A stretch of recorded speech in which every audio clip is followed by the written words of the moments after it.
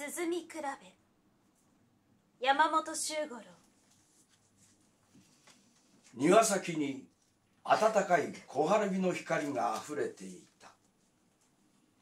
大方は枯れた間垣の菊の中にもう小さくしか咲けなくなった花が一輪だけ茶色に縮れた枝葉の間から鮮やかに白い花びらをつつましく覗かせていた。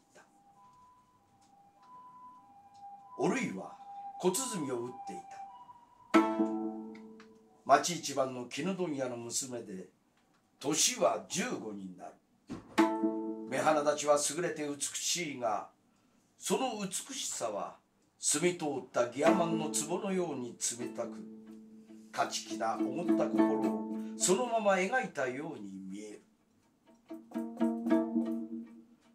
ここは離れ屋で広い庭の外れにあたり後ろを松林に囲まれていた。打っている曲は序の舞であった。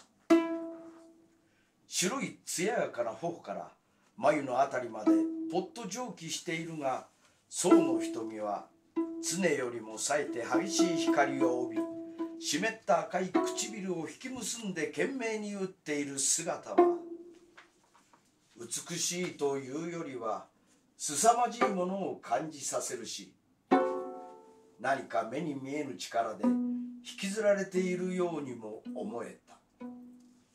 鼓の音はとうとうと松林に反響した。みじんの緩みもなく張り切った音色である。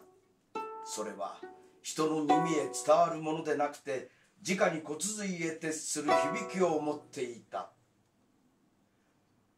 曲は三段の唯一から地頭となり美しい八拍子を持って終わった。おるいは肩から小鼓を下ろすと静かに間垣の方を見合ってそこにいるのは誰です？と呼びかけた。一輪だけ咲き残った菊の間垣の陰で誰か動く気配がしたそして間もなく一人の老人がおずおずと重そうに身を起こした。ひどく痩せた体つきで髪も眉毛も灰色をしている。身なりも貧しいしことに前かがみになって武将らしく左手だけを懐手にした格好がおるいには忘れることのできないほど卑しいものに感じられた。お前どこの者なの？23日前にもそこへ来たようだね。何をしに来るの？申し訳のないことでございます。老人はしゃがれた低い声で言った。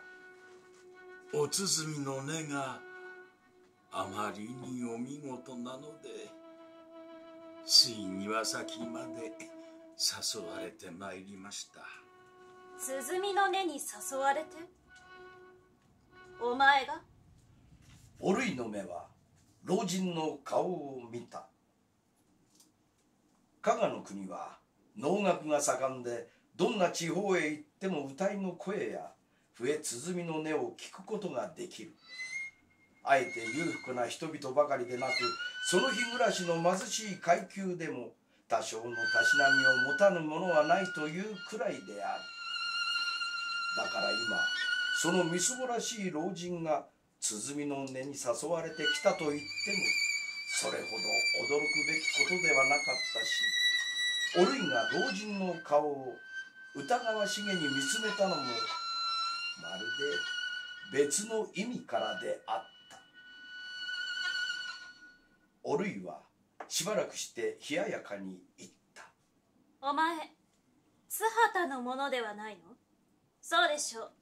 津畑の能登屋から何か頼まれてきたのでしょう。私は旅のものでございます。隠してもダメ。私は騙されやしないから。私は旅のものでございます。生まれは福井のご城下でございますが長いことを他国を流れ歩いておりましたけれどももう余命のない体でございますからせめって先祖の地で死にたいと思って帰る途中でございます。ではどうして福井へ行かないの？どうしてこの森本でぐずぐずしているの？持病の具合が思わしくないので宿外れの宿にもう半月ほども泊まっております。一日も早く帰りたいとは存じますが帰っても親類縁者の頼るところはなし。いやこんな話は何の今日もございません。本当に何の今日もございません。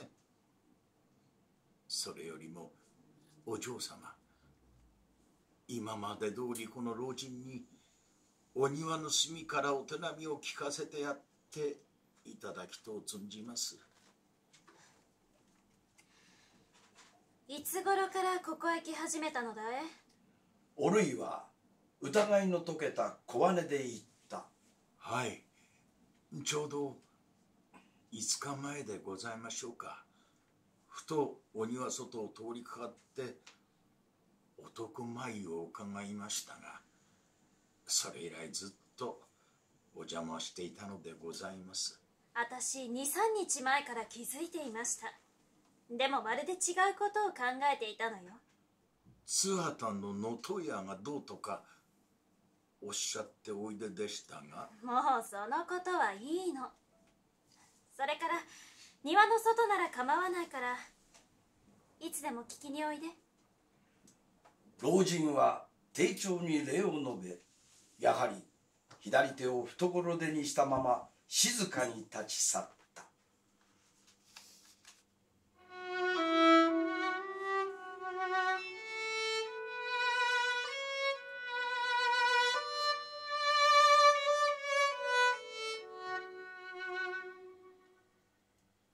あくる日も老人は来た。それからその翌日のおるいは次第にその老人に親しさを感じ始めた。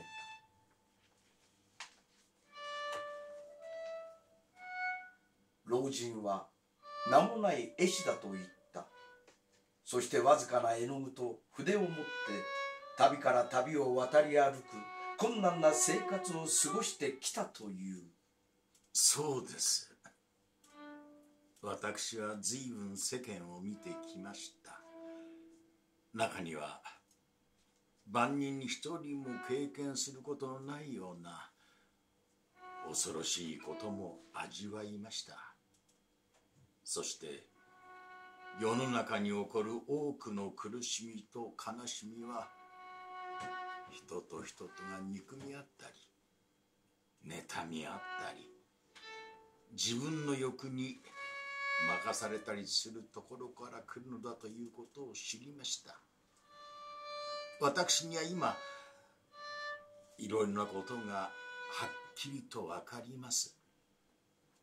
命はそう長いものではございません。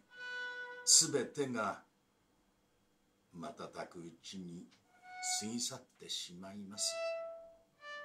人はもっともっと譲り合わなくてはいけません。もっともっと慈悲を持ち合わなくてはいけないのです。老人の言葉は静かで少しも押し付けがましい響きを持っていなかった。それでこういうふうな話を聞いた後では不思議におるいは心が温かく和やかになるのを感じた。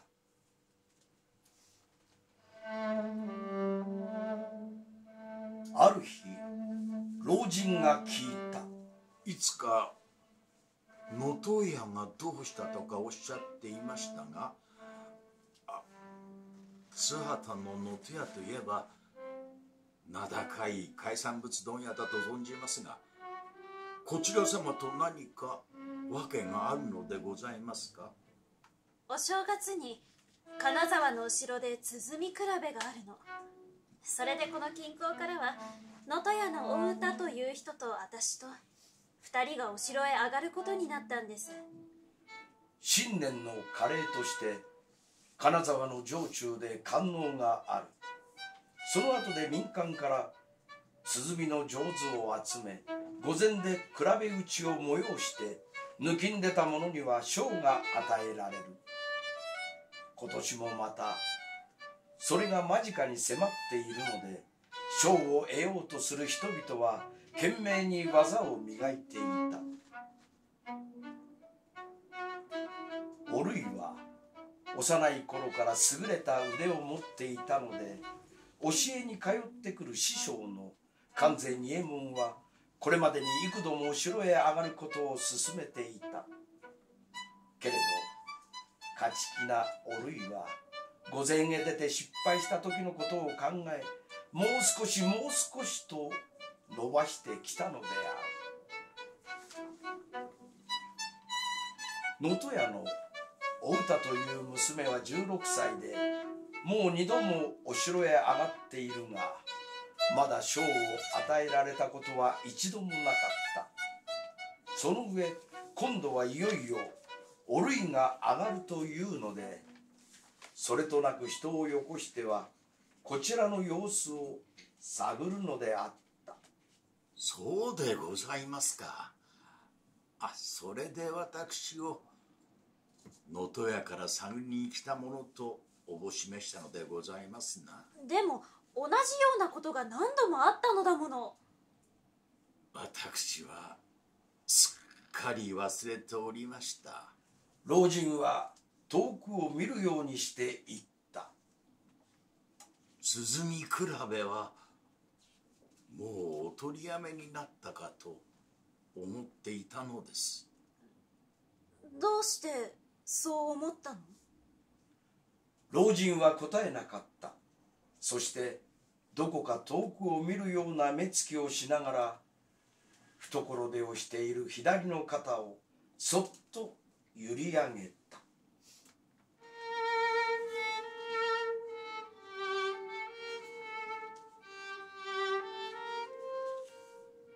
それから2日ほどすると急におるいは金沢へ行くことになった師匠の勧めで城下の神瀬家から手直しをしてもらうためであるその稽古は20日ほどかかった神瀬家でもおるいの腕は抜群だと言われ大師匠が自分で熱心に稽古をつけてくれた。森本へ帰ったのは12月の押し迫った頃であっ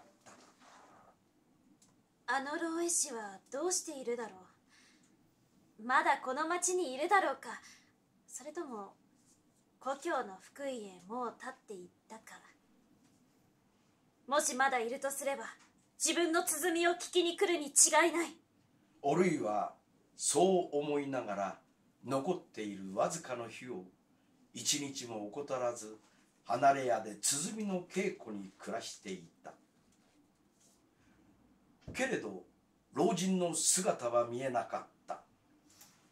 すでに雪の季節に入っていた。重たく空に広がった雲は今や全く動かなくなり毎日細かい雪がちらちらと絶えず降ったりやんだりした。大津ごもりの明日に迫った日である。おるいは鼓を打っていると庭の小芝垣のところへ雪見野に傘をつけた人影が近寄ってきた。ぱりまだいたのね。おるいはあの老人だと思って鼓をやめて縁先まで立っていったけれどそれはあの老人ではなくまだ十二三の見慣れぬ少女であった。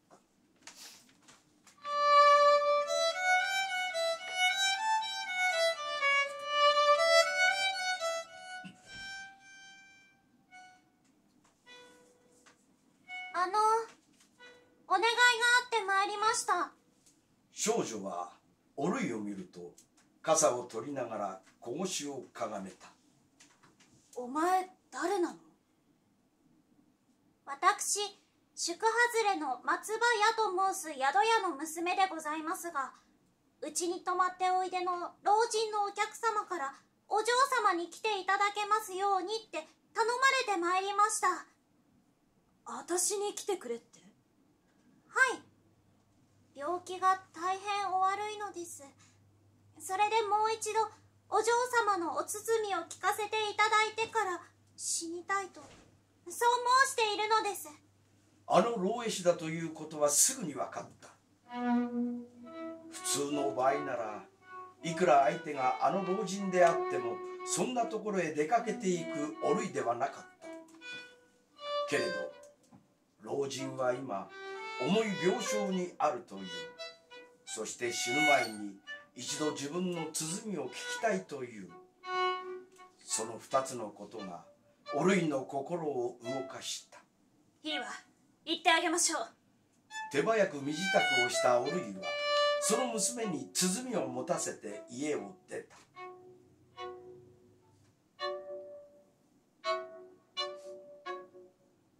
松葉屋というのは宿外れにある汚いキチン宿であった。老人は一間だけ離れている裏の狭いすすけた部屋に寝ていた。ようおいでくださいました。老人は衰えた僧帽に感動の色を表しながらじっとおるいの目を見つめたご城下へおいでになったと伺いましたのでもう二度とお嬢様のお包みが聞けないものと諦めておりました。ありがとうございます。ようおいでくださいました。おるいはただ微笑みで答えた。自分の打つ鼓にこの老人がそんなにも大きな喜びを感じている。そう思うと不思議に金沢で大師匠に褒められたよりも強い自信と誇らしい気持ちが湧き上がってきた。いやお待ちくださいまし。おるいが鼓を取り出そうとすると老人は静かにそれを制しながら今思い出したことがございますから。それを先にお話し申し上げるとしましょう。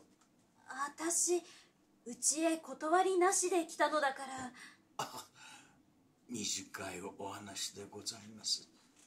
すぐに済みます。お嬢様は正月の鼓比べにお城へお上がりなさるのでございましょう。上がります。私の話も。その鼓比べに関わりがございます。お嬢様はご存じないかもしれませんが 昔随分前に完全の生やし方で一之丞というものと六路兵衛というものが御前で包み比べをしたことがございまし知っています。友割の鼓のことでしょう？たおおご存知でございますか？14年前に関西一之丞と六路兵衛という二人の生やし方があって小鼓を打たせては龍子と呼ばれていたが二人とも負けず嫌いな激しい太刀で常々互いに相手をしのごうと競り合っていた。それがある年の正月領主前田公の御前で鼓比べをした。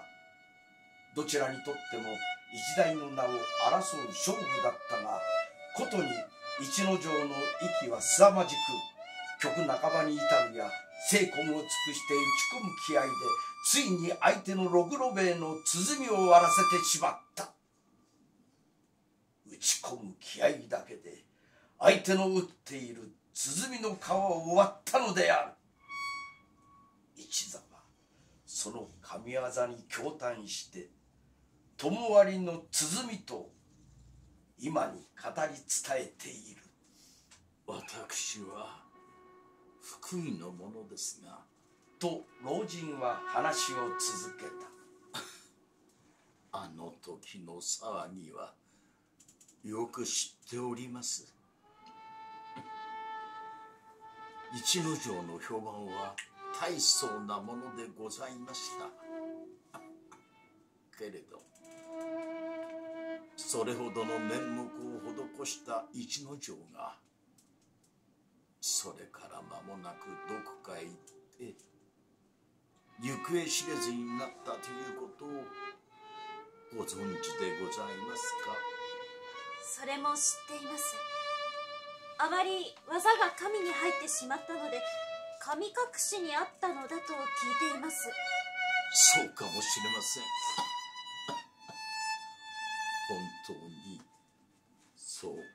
しれません。一無城はあるよ自分で鼓を持つ方の腕を折り生きている限り鼓は持たぬと誓ってどこともなく去ったと申します。私はその話を聞いた時にこう思いました。すべて芸術は人の心を楽しませ清くし高めるために役立つべきものでそのために誰かを任そうとしたり人を押しのけて自分だけの欲を満足させたりする道具にすべきではない。鼓を打つにも絵を描くにも少女な温かい心がない限り何の値打ちもない。お嬢様あなたは優れた鼓の打ち手だと存じます。お城の包み比べなどにお上がりなさらずともそのお手並みは立派なものでございます。おやめなさいまし。人と優劣を争うことなどはおやめなさいまし。音楽はもっと美しいものでございます。人の世で最も美しいものでございます。おるいを迎えに来た少女が薬湯を飲む時だと言って入ってきた。老人は苦しげに身を起こして薬湯をすすると話し疲れたものかしばらくじっと目をつむっていた。では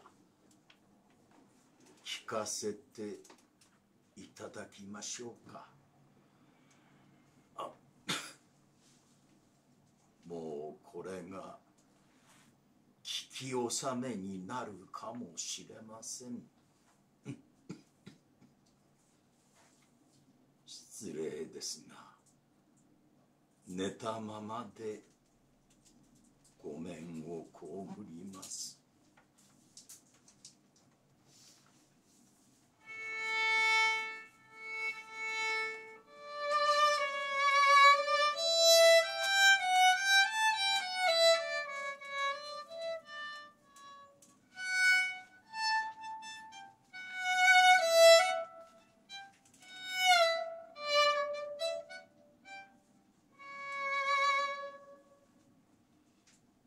州前田公をはじめ重臣たち銀石のもとにカレーの宴納が終わってすでに鼓比べが数番も進んでいた。これにはいろいろな身分の者が加わるので城主の席にはミスが下ろされている。おるいは控えの座からそのミスの奥を透かし見しながら幾度も装備の震えるような感動を覚えた。しかしそれは気遅れがしたのではない。学殿の舞台で次々に披露される鼓比べはまだどの一つも彼女を恐れさせるほどのものがなかった。彼女の勝ちは確実である。そしてあのミスの前に進んで賞を受けるのだ。一番の賞を受ける時の自分を考えるとその誇らしさと名誉の輝かしさに身が震えるのであっ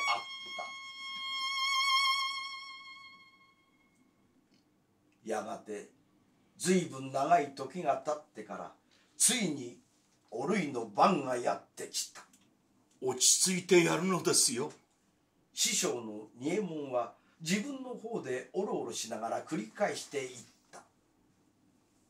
ミスの方を見ないでいつも稽古すると同じ気持ちでおやりなさい。大丈夫。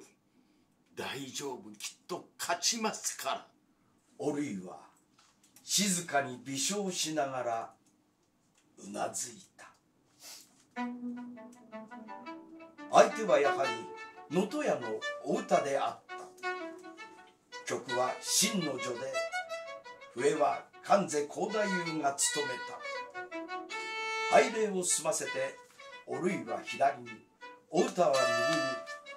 互いの座を占めて鼓を取った。そして曲が始まった。おるいは自信を持って打った。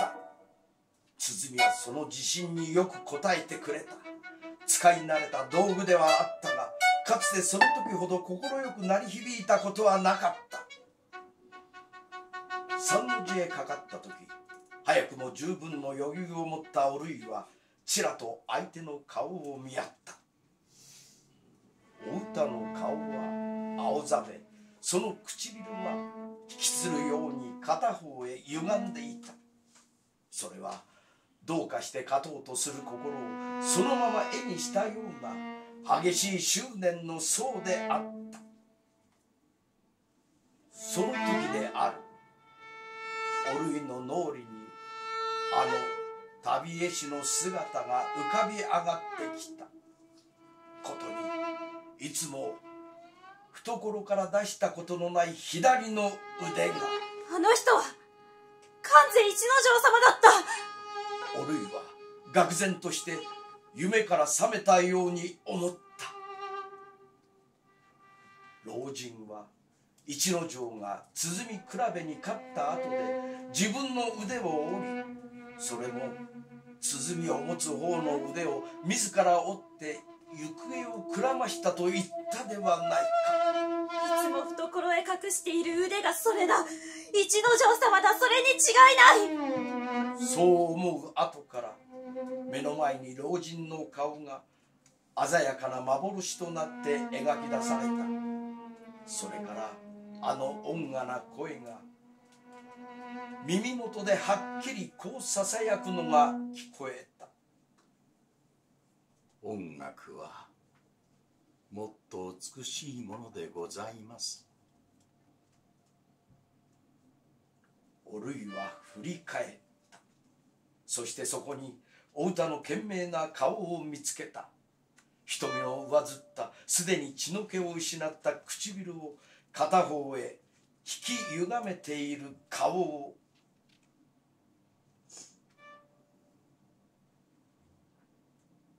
音楽はもっと美しいものでございます。また人と優劣を争うことなどおやめなさいまし。音楽は人の世で最も美しいものでございます。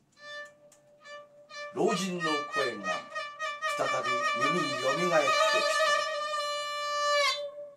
おるいの右手がはたと止まった。お歌の鼓だけが鳴り続けた。おるいはその音色と意外な出来事に驚いている客たちの動揺を聞きながら鼓を下ろしてじっと目をつむった。老人の顔が笑いかけてくれるように思え今まで感じたことのない新しい喜びが胸へあふれてきた。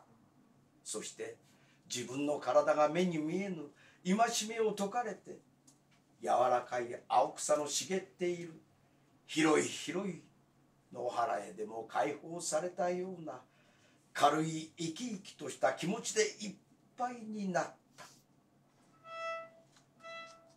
早く帰ってあの方に鼓を打ってあげよう。この気持ちを話したらきっとあの方は喜んでくださるに違いないわ。オルイはそのことだけしか考えなかった。どうしたのです？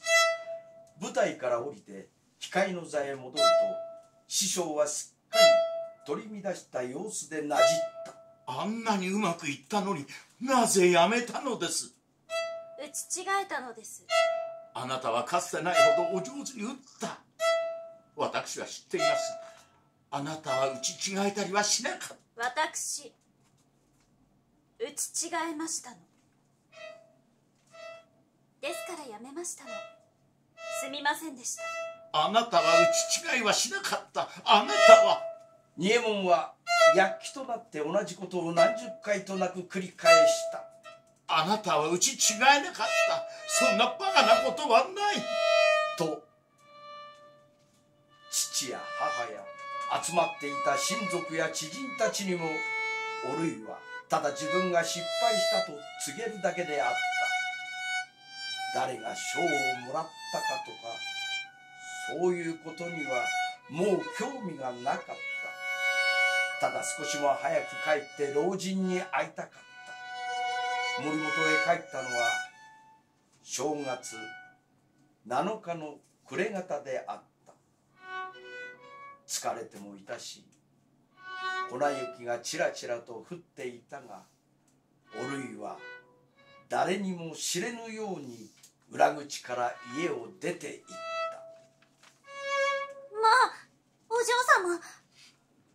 松葉屋の少女は不意に訪ねてきたおりを見て驚きの目を見張った。そしてすぐ聞かれることは分かっているというふうにあのお客様は亡くなりました。と当たり前すぎる口調で言った。あれからだんだんと病気が悪くなるばかりでとうとうゆうべお亡くなりになりました今日は日が悪いのでお弔いは明日だそうでございます。おるいは裏の部屋へ通された。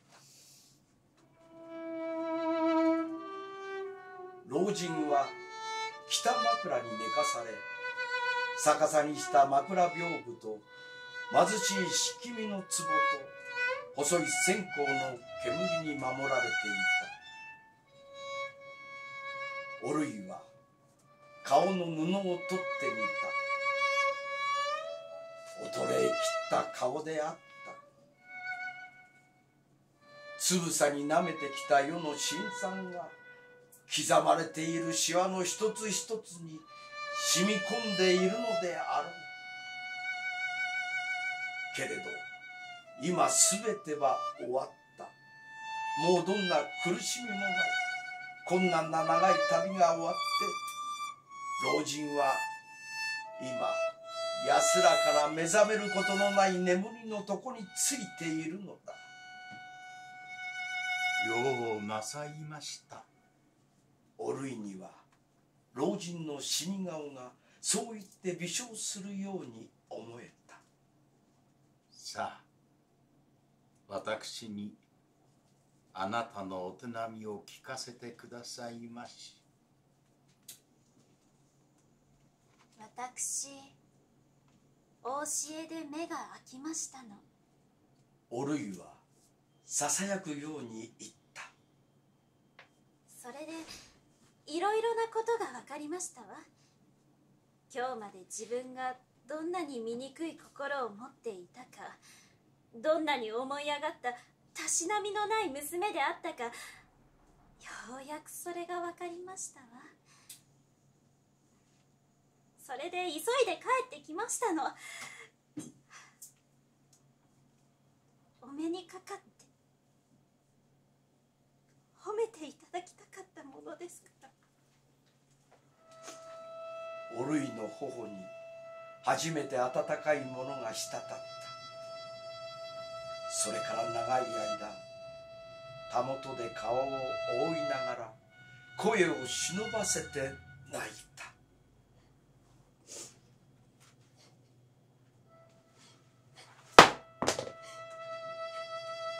長い間泣い。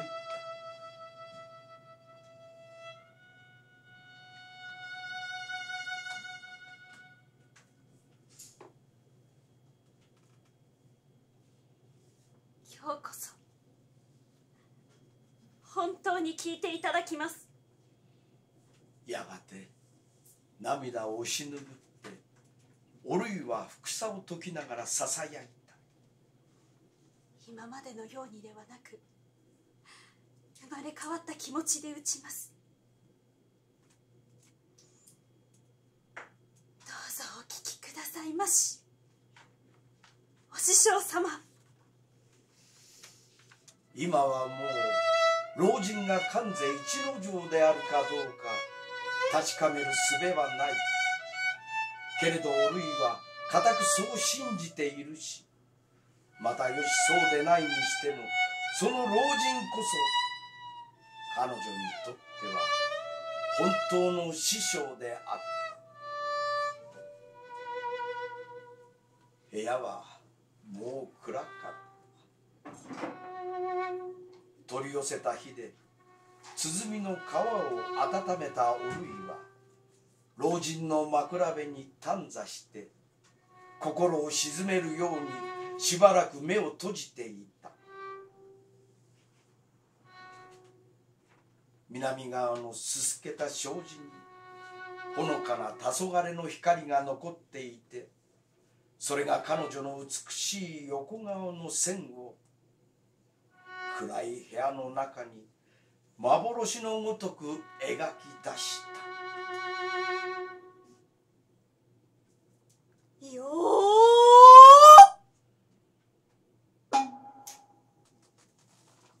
こうとして鼓はよく澄んだ。荘厳でさえある音色を部屋いっぱいに反響させた。おるいは男前の曲を打ち始めた。